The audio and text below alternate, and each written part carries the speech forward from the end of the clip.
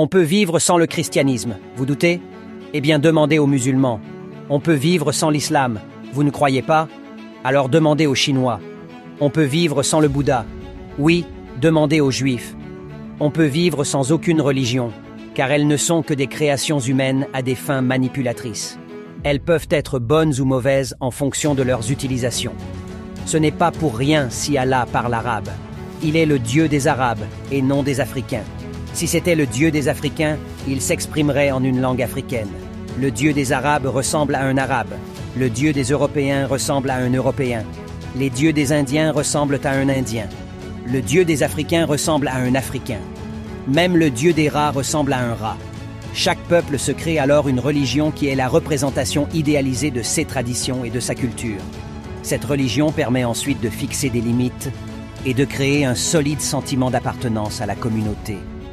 Mais un peuple qui abandonne sa religion ancestrale pour se tourner vers la représentation idéalisée des traditions d'un autre peuple est perdu d'avance, parce qu'il ne pourra jamais vivre dans la peau de ce peuple pour voir les choses comme eux et comprendre ce qu'ils ont compris depuis des siècles.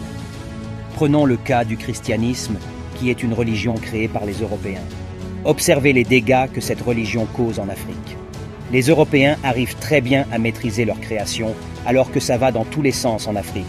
Plus d'églises que d'entreprises, plus de pasteurs que de médecins, d'enseignants, etc. De nos jours, plusieurs Africains chrétiens sont capables de transformer une usine en église et prier pour que Dieu leur donne du travail. Ils pensent que c'est Dieu en personne qui a pris le stylo pour écrire la Bible et croient aveuglément à tout ce qui s'y trouve. La seule chose dans laquelle on ne saurait vivre, c'est l'amour de soi et de son prochain. Un peuple qui ne s'aime pas n'aime pas ses semblables. Sans amour et un solide sentiment d'appartenance à sa communauté, la société s'égare. La religion ancestrale joue ici un rôle important dans la communauté, car elle réunit. Mais trop d'Africains renient tout ce qui les réunit. Prénoms, peau, cheveux, culture, traditions, langues africaines, etc. Les esclavagistes ont veillé à cela. Ils connaissaient les conséquences.